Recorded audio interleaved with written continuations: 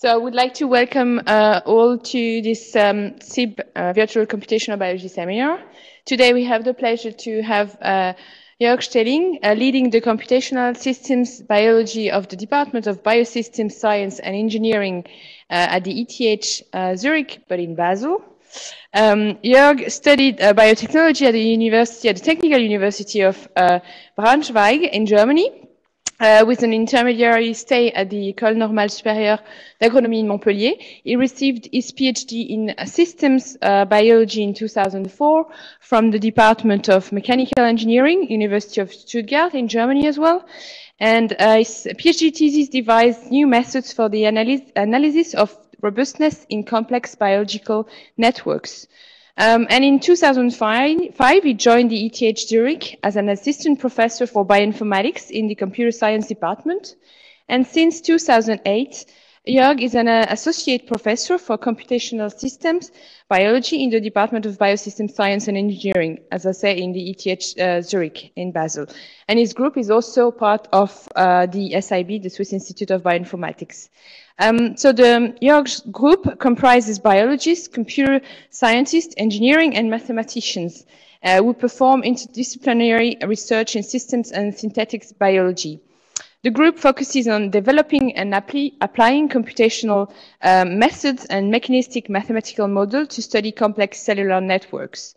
Um, the group uh, biological application rely on the group, uh, group experimental uh, biology part, that uses uh, yeast as a budding yeast as a model organism and on various external collaboration. So today Jörg will tell us uh, about multi-scale models for the design of synthetic gene circuits. Uh, Jörg, thanks again for accepting this invitation and the floor is yours. Okay, thanks again for the invitation and for the nice introduction. Um, I picked a topic that I think I didn't talk about yet here in Lausanne, which is um, different from the normal work on metabolic networks or other things we work on. And so the idea here is to use mathematical models in order to construct new biology. Uh, so this synthetic biology type of approach, and I'll show a few examples on synthetic gene circuits today.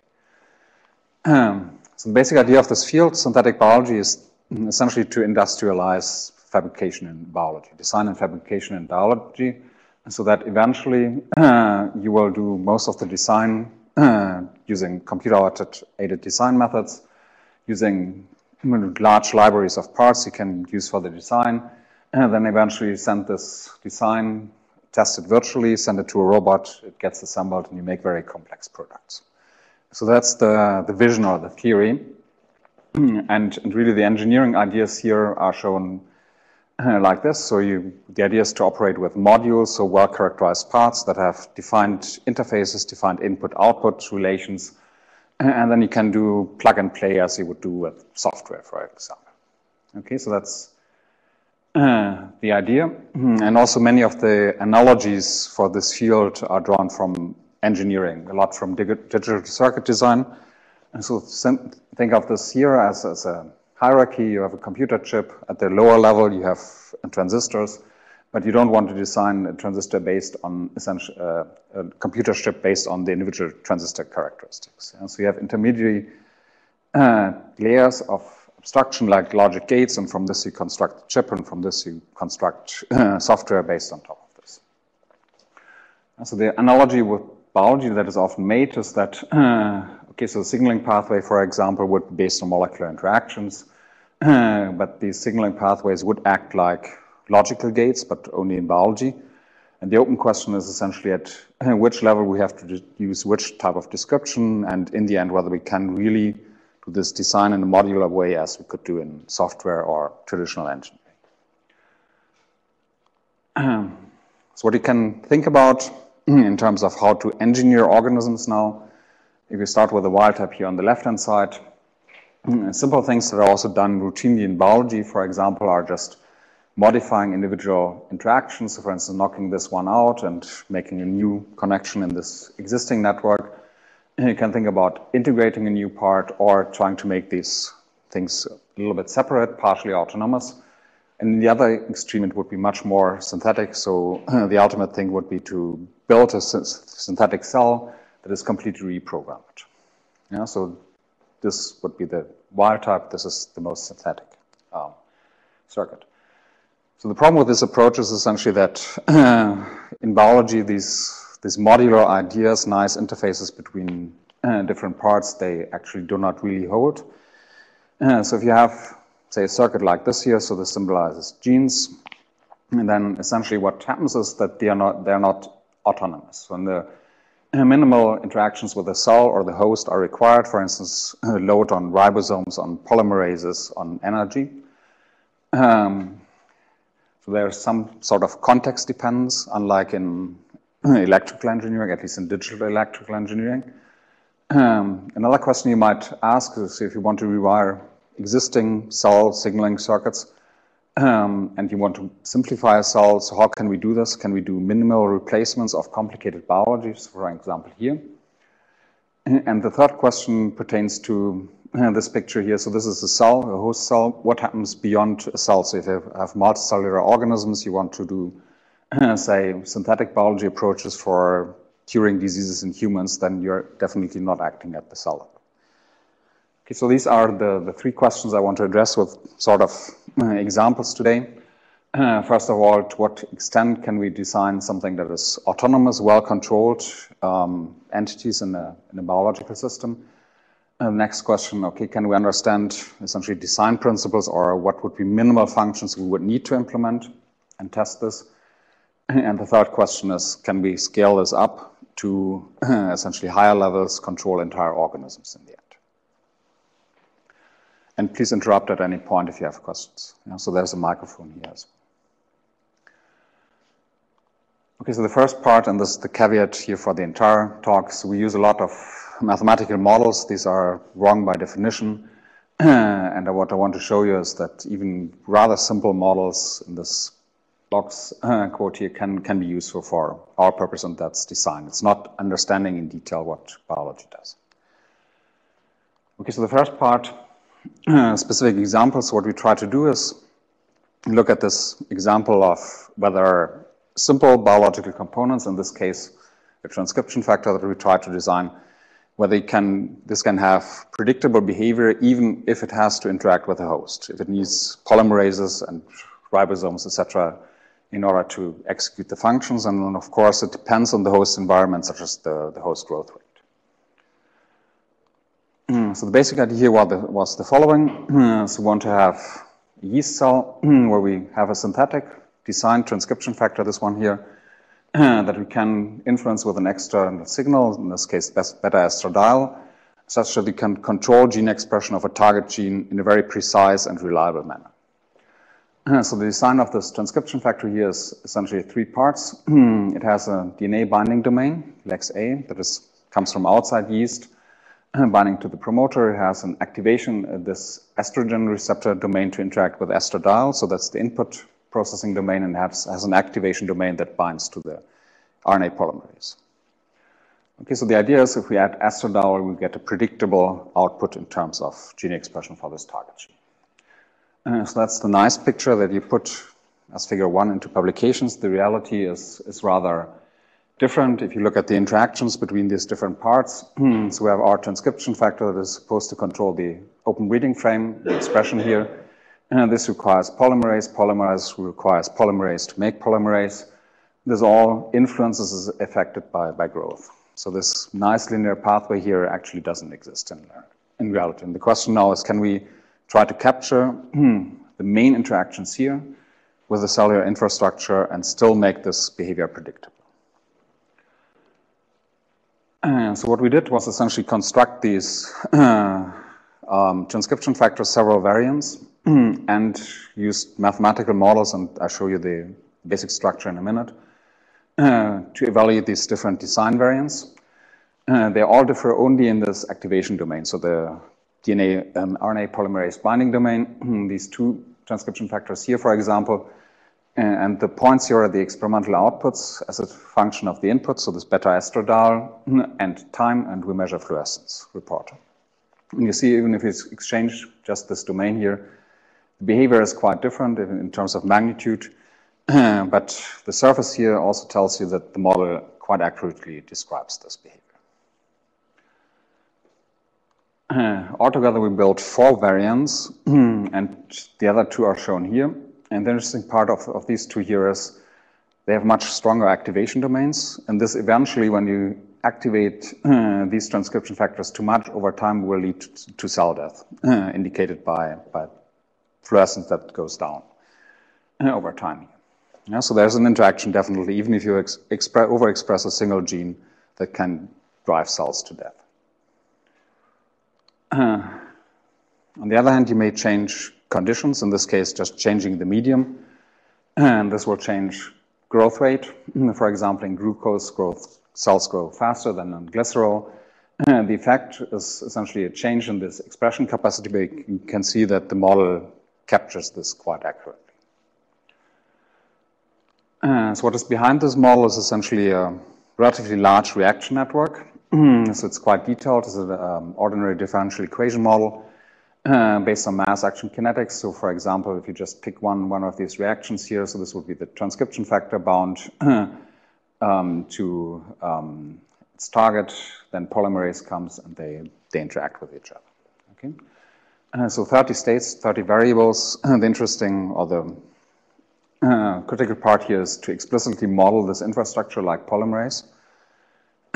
And then what we did, we used part of the experimental data in order to identify the, the associated parameters, mm-hmm, 45, and then tested against independent data. Mm-hmm. and the data I showed you before, these are relatively large data sets. So we had roughly 450 data points for training, and then twice as much for, for testing, and that's actually what I showed you in the previous slides.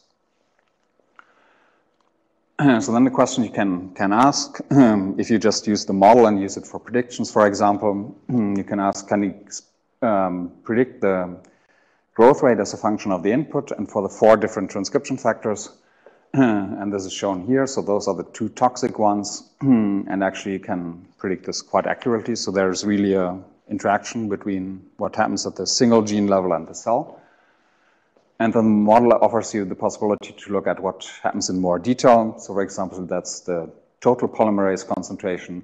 Here you see that for these toxic transcription factors, this really goes down simply because uh, the transcription factor captures more polymerase. There's less for making new polymerase, essentially. And these, these dose response characteristics are not necessarily trivial. And then the last step, we asked what can we do in order to tune essentially this system here. so you might change the, the affinity to the operator. That's what is usually done in engineering transcription factors. but you see the, the effect, the relative fluorescence, so the, you change by a factor of two or so at most.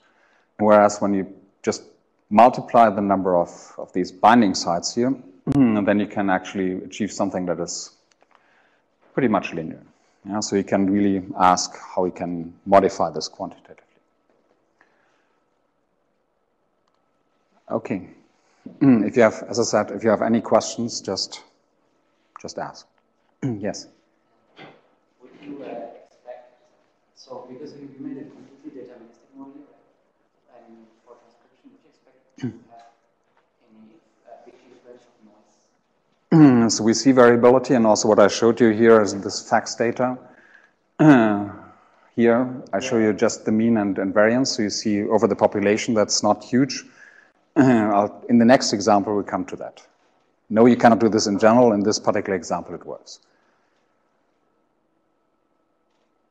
Yeah? Your set of uh, uh differential equations, uh, all the reactions, is there any chance we can study it one by one or smaller uh, associates uh, so that you not need to work with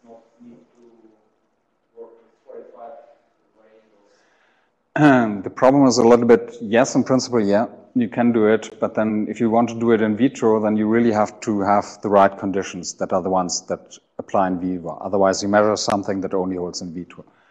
This is one example. So this has exactly the same parameters, the model. If you do this, say, in more glucose metabolic state, compared to a glycerol metabolic state, you may simply estimate your parameters well.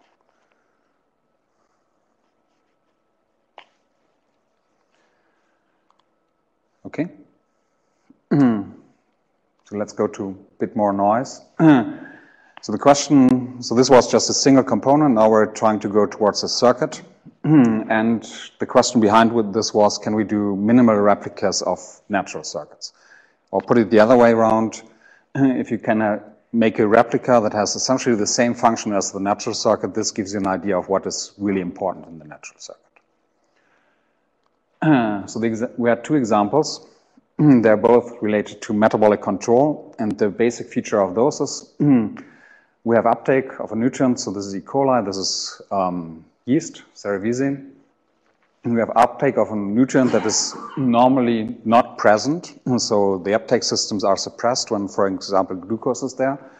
But if there's enough, in this case, lactose or galactose, the, the control system switches this on. And then the cells are either in one of two states, either no expression of this entire system or fully on.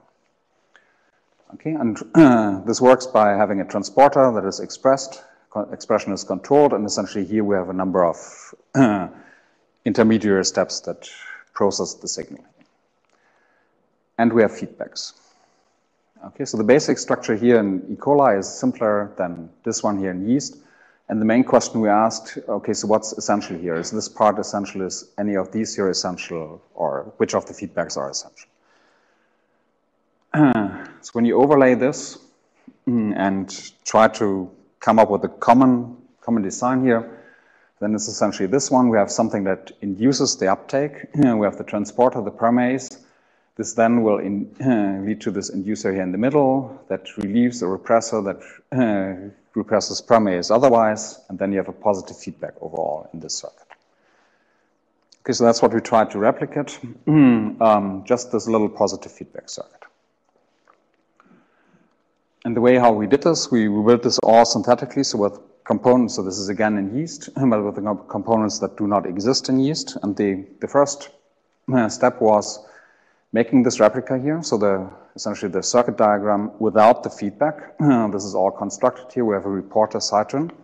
And we just characterize the steady state input output, so the dose response relationship for this particular construct.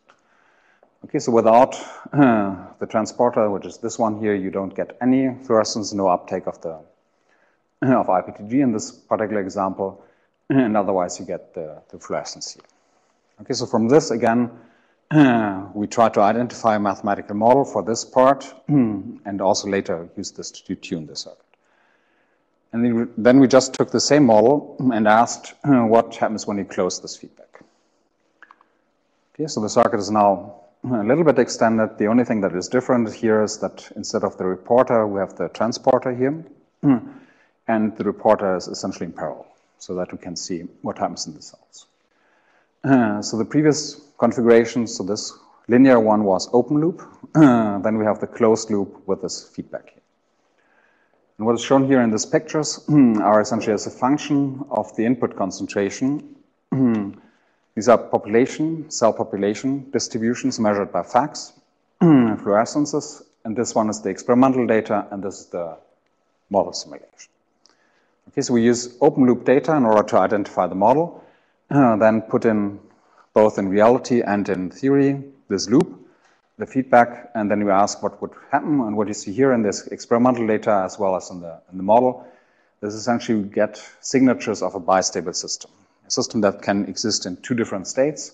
So you have a subpopulation here that is, has low fluorescence, another one has high fluorescence, and eventually this moves to full fluorescence.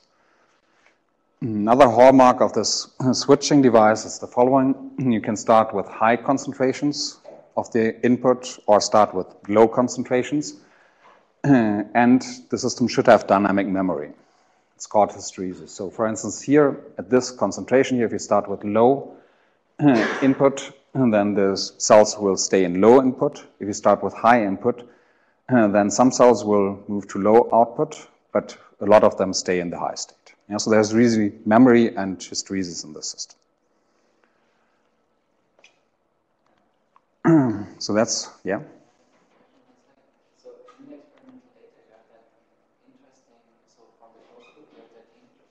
Uh, so in the experimental data for the closed loop, you have that in interesting bimodal distribution starting for zero microgram and yeah. 1000 microgram, right? In this window here. Do you have any uh, suspicion where that comes from, or is it some It comes from, from this system here, when you close the loop, that it is essentially for the same input, it can exist in one of two states, so either high or low at the individual cell level.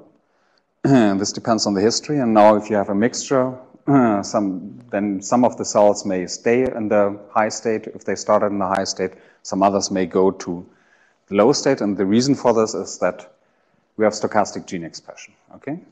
That's what happens here in the experimental system when you, for instance, make an upshift, you start with low concentration and then go to a high concentration, then cells will definitely react differently in terms of when and also to what extent they induce expression.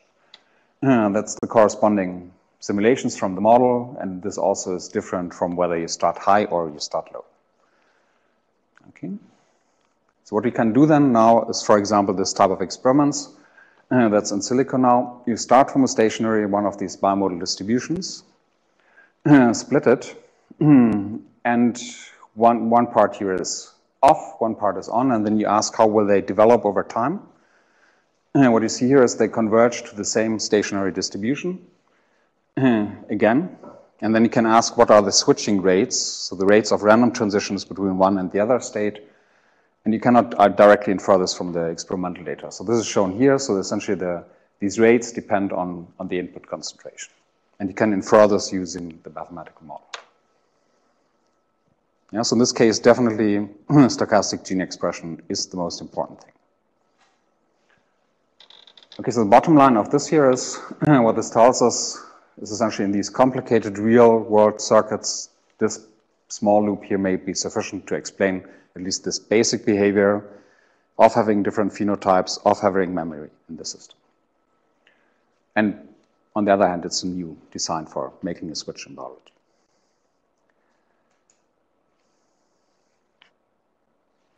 Clear or questions?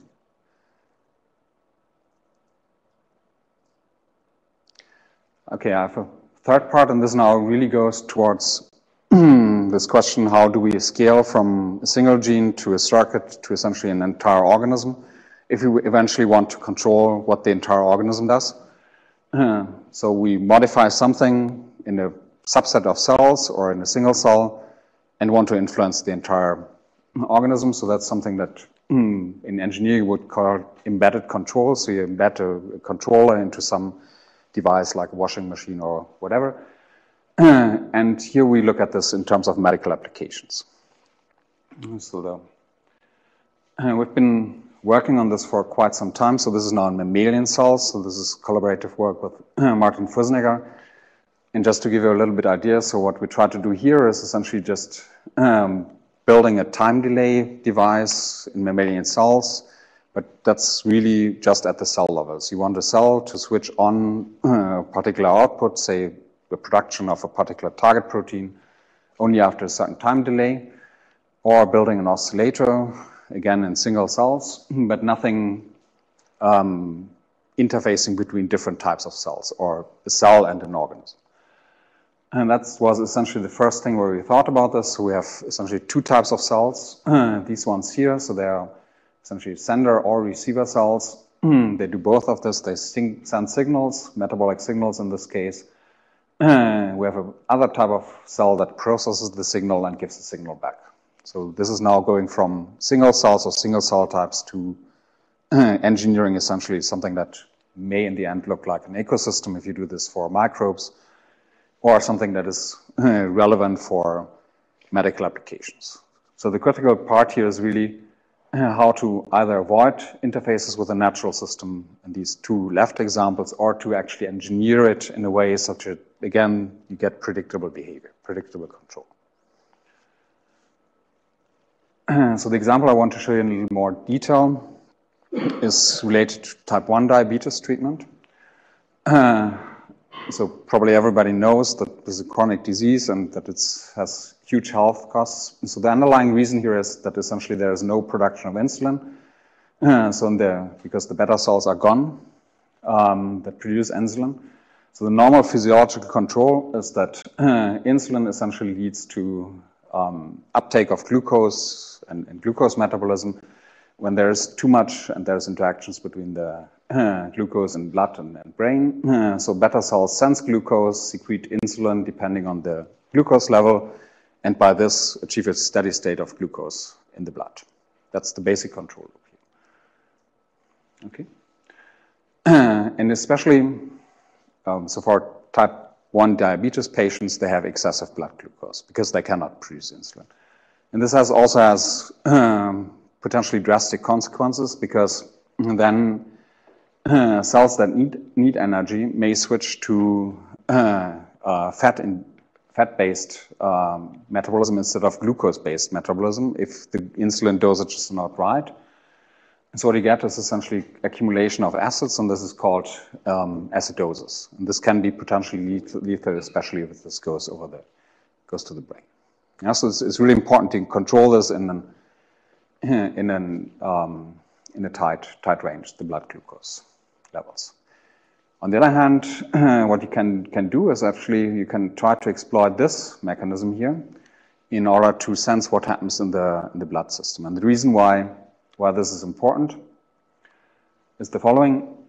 so treatment options for type 1 diabetes are essentially uh, insulin injections, either manually or with automated systems, but they still have a lot of problems. One, one being non-compliance or that the systems simply do not, do not really work or that they work, they adjust um, dosage too late, etc.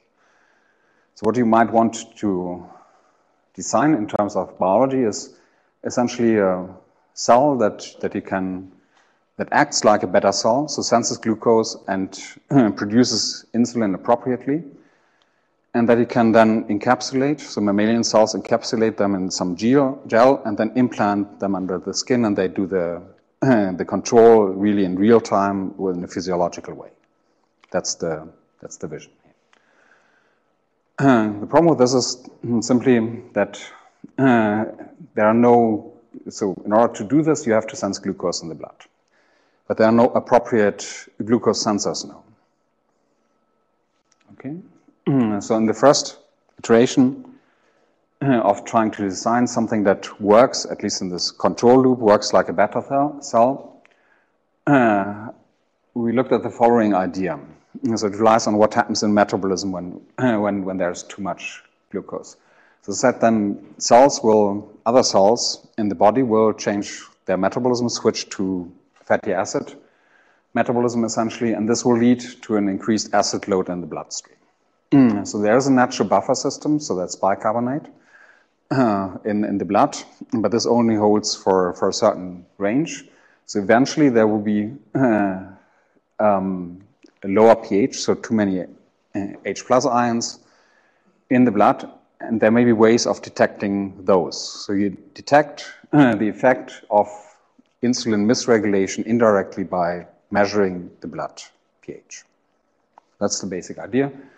And this is now the resulting circuit here. So this is a, essentially a pH sensor. So this is engineered, it comes from a different, different type of cells. This is then wired into a natural signaling pathway, this one here, so protein kinase A signaling in mammalian cells. And then we take the output of the signaling pathway and reroute this to control a gene of interest. Yeah, so these mammalian cells are modified only by expressing the sensor here and by expressing a sensor that for, for this signal here and then producing a protein of interest in response. Okay. And the problem here, and the reason why, why this is requires really quantitative description here is you, you have to have exactly the right response in the right pH range to produce eventually the right amount of insulin. Uh, so again, we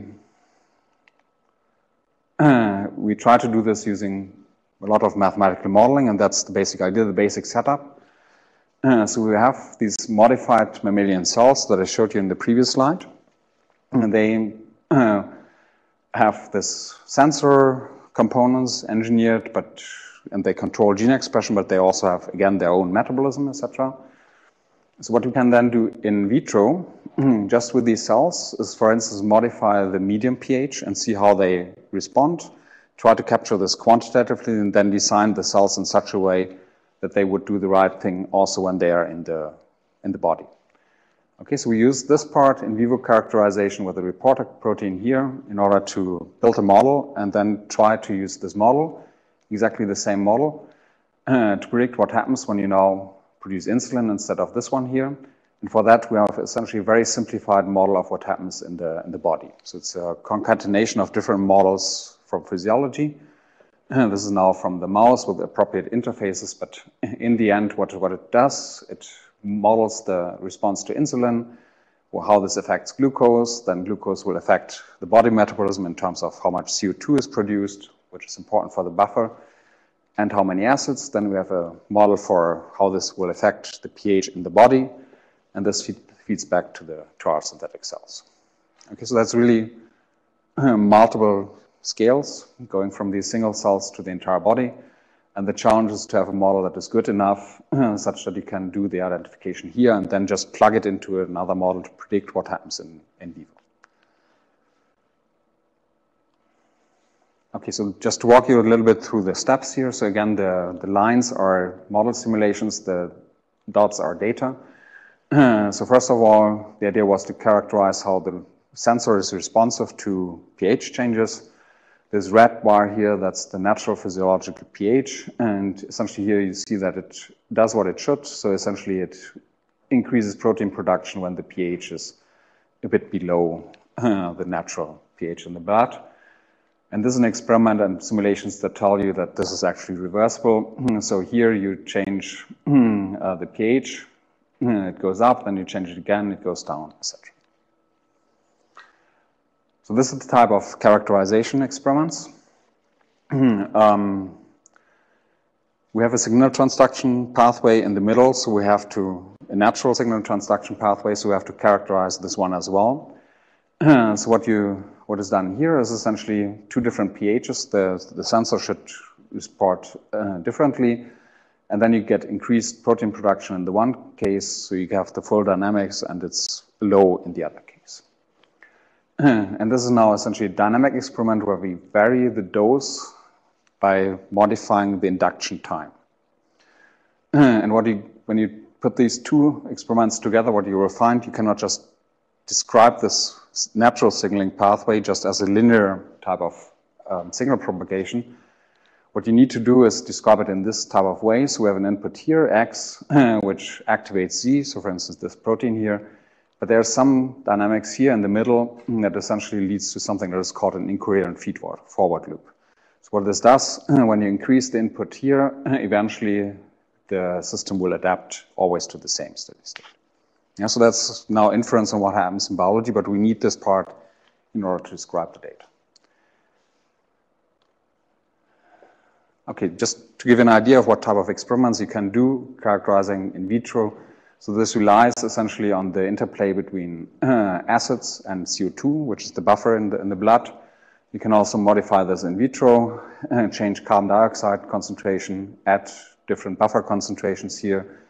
And the point about this slide is mostly that in many cases the model characterizes these, or is, is very much consistent with the data. So then what we did, so we had, this was used to established this model here, and then we plugged it into a, a mouse model. So a model representing basic physiology of the mouse. Okay. and there were parallel experiments. Hmm, so this is now essentially the sensor characterization in terms of an output. This is insulin now. but when the cells are implanted in the mouse. Okay, and you see that with the same model, the behavior is nearly the same, and the data and, and model again uh, look pretty uh, consistent. the implants were then done in healthy mice and type 1 diabetes mice. So the circuit is called pH guard. and what happens in healthy mice, essentially, okay, so you have this pH guard, it changes the insulin a little bit up, but not much different from, from the natural when you give placebo. but in type 1 diabetes mice, the placebo essentially produces no insulin, whereas this one here produces insulin. And essentially here you see the time courses, time course data. So this is for the natural response to glucose injection and the glucose level in the blood. So that's how healthy cells would respond. That's how type 1 diabetic cells respond. So they start from very much higher concentrations, and they essentially have a hard time downregulating this again. And this is now the circuit here. So that's the experimental data. so the mice with the circuit, and this is the model simulations. Yeah, so you see the really the dynamics also is, is very much changed. Okay, so what you can then do, just use the model, ask, okay, so how safe would it be in a real implant situation if you, for instance, don't know that there's zero production of insulin in the native system? Uh, so would this affect insulin levels or glucose levels? Would they still be in the tolerable range?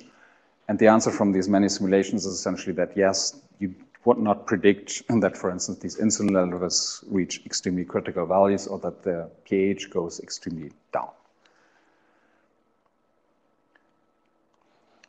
Okay, and then just two more slides on essentially a second generation of this type of ideas. Um, the idea is now to use direct sensing of glucose instead of the surrogate signal uh, pH. Uh, so the way how real beta cells do this is the following. So when there's low glucose, then there's essentially no metabolism of glucose. Uh, and metabolism via ATP interacts with calcium and uh, potassium channels in the, in the cells. Okay, so when glucose comes, uh, ATP is produced. This leads to, uh, to inhibition of this um, calcium uh, potassium efflux. The cells depolarize. This will lead to influx of calcium this will then lead to release of insulin in nat natural beta cells. And the idea here is now to just take different cell types and engineer them in such a way that we can uh, follow the same logic. And the interesting part here was essentially that only this, this calcium pump needs to be in, included and a particular transcription factor in order to recapitulate uh, the beta cell biology. and you have to do it in the right amounts, etc., to do it quantitatively. Okay, so just the result, essentially the main result. this is a test in this configuration, so we only have these two constructs here, synthetic constructs. we challenge this with extracellular glucose, then insulin is produced. And this is now time course data. The scale is days. Overall, the, the experiment was six weeks. If you have uh, wild type cells, this is again glucose concentration in the blood. They have really normal concentrations. Uh, if you have the control cells for type 1 di diabetes, you see these huge uh, um, high insulin levels in the control mice. And the reason why the time course here is so short, that simply most of the, most of the mice die under these conditions. and when we use this implant, which is called HEC1 beta, the blue lines you see essentially, you make a initial perturbation when, the, when you implant this to the, to the mice. But eventually it, it goes to reasonable levels of, uh, of blood sugar, and the mice live for at least six weeks. And the final curve here, so this, this is an implant with um, beta cells derived from humans, and you see essentially that's, they're a little bit worse than, than these engineered cells. Okay, so that's essentially it. So what, what I wanted to show you is that you can actually do model-based design even if you if we don't know a lot about the bi biology. The question of how much biology you have to include or what level of abstraction is possible really depends on the context or the purpose of these models. Yeah? And in terms of methods, what I showed you, especially in the last part, um, this is sort of um, an art how to do this type of uh, model development and, and interfacing all this. The question is how can we do this more, more systematically? Um, that's really an open question. And, and then what I want to show you, so this idea of having physiological feedback, so really implants with these design cells. This may, may be an opportunity for applications, but also in terms of theory, because essentially these models I showed you, although they try to describe what happens in an entire mouse, they're relatively simple. Yeah? Because simply the, the organism has a lot of control circuits itself, so you may get away with very inaccurate models. Okay, so the people who did this work from, from my group are listed here. So this, especially the last part, was a long-standing collaboration with Martin Frisenegger's group. in this uh, NCCR molecular systems engineering and David Ausland and Minky Shi were the main people on the experimental side for the mammalian work. And that's the final statement.